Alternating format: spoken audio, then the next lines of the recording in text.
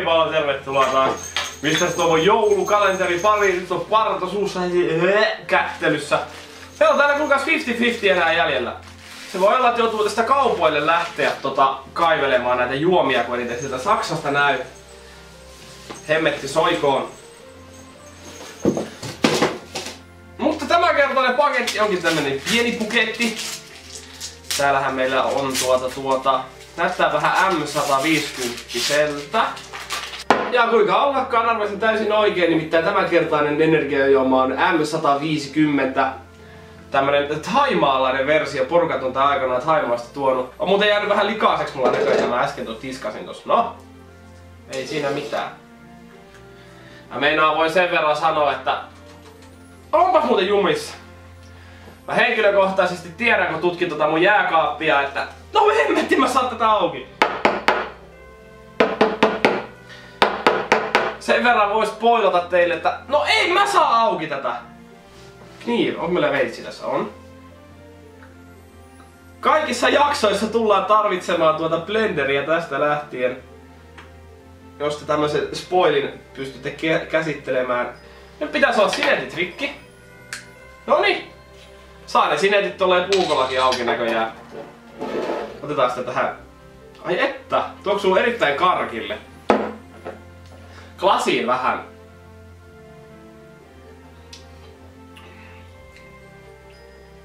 muuten aika hyvä.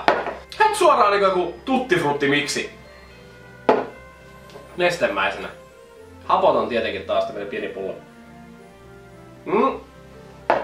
mm tosi makea, mutta vähän hämmättävä. On tämmönen yllättävän hyvä energiasotti. Kolme ja puoli pistettä antaisin tälle. Ei ollenkaan huono. Mutta kuinka ollakaan, jos juoma ei ole huono, niin siitähän on helppo tehdä kaikkia hyvää. Tällä kertaa nimittäin laitamme joukkoon... Ai ai! Graavilohta! Tuota jouluista joulupöydän. Ai mulla tippu, mun parta on ihan rip. Pukin parta ei toimi enää. Joulupöydän. Itse tykkää graavilohesta. Ruisleivän päälle ja reilusti voita kyllä se vaan siinä menee. Mutta pitää olla, graavilohessa pitää olla ohuita siivuja. Se on niinku mun mielestä semmonen ehdoton juttu. Haetaan meille vähän graavilohta tähän ja nautitaan. Ai ai kun on ihanaa kun tulee joulu. Kato, laulu lurautin. Graavisuolattu kirjolohi filee. Ai ai. Miksei tämmönen sopisi energiajuoman sekaan?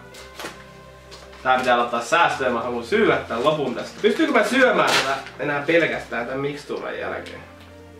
On mukavasti, on tilliä ja suolaa siinä.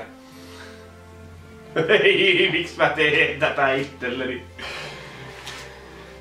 Mulla on sormet ihan graavissa. Ja sitten pulautetaan tänne graavijoukkoon tämä M150 noin kokonaisuudessaan. Joka jälkeen... Oho!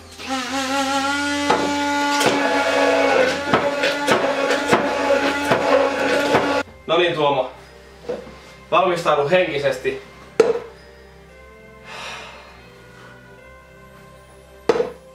Tää haisee aivan samalle kuin se sinappisilli virinona.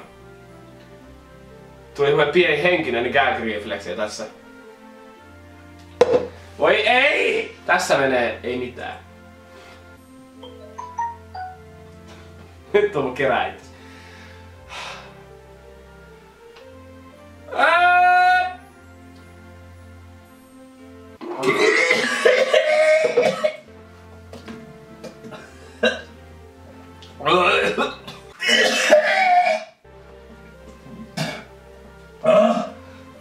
Jeesus!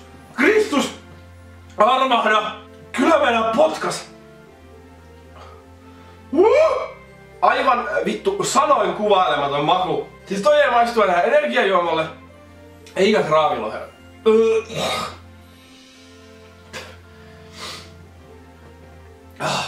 Ja ihmiset niin odottaa aina tätä oksellusvaroitusta. Voin sanoa, että mä en kyllä oota tätä, tää on kyllä aina yhtä mielenkiintoista. On pakko ottaa toinen huikkaus, ei halua, tätä on huulissakin oikeesti. Ah, let's go for it. Pystyykö vielä? Pystyykö?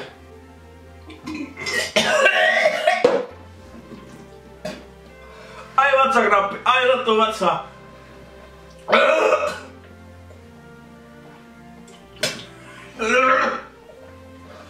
Ai kun sattuu vatsaa. Krappaa. Ha, äiti auta. Äiti älä jätä. Siis mikään. Ei mikään. Mulla tuli hiki oikeesti. Mikään ei ollut lähelläkään näin pahaa. Siis mä en oo pitkään aikaa maistanut mitään, mikä maistuu noin hirveelle oikeesti. Mulla on pakko päästä pesee huulet, siis mun huulet maistuu ihan tuli systeemille. Ah. Mutta oikein paljon kiitoksia kun katsoitte tämän videon. Jos piditte, niin painakaa nyt perkele sitä peukkua oikeesti. Minä olen Mr. Tuomo, ja saataas mun puolesta huomiseen. Morjes!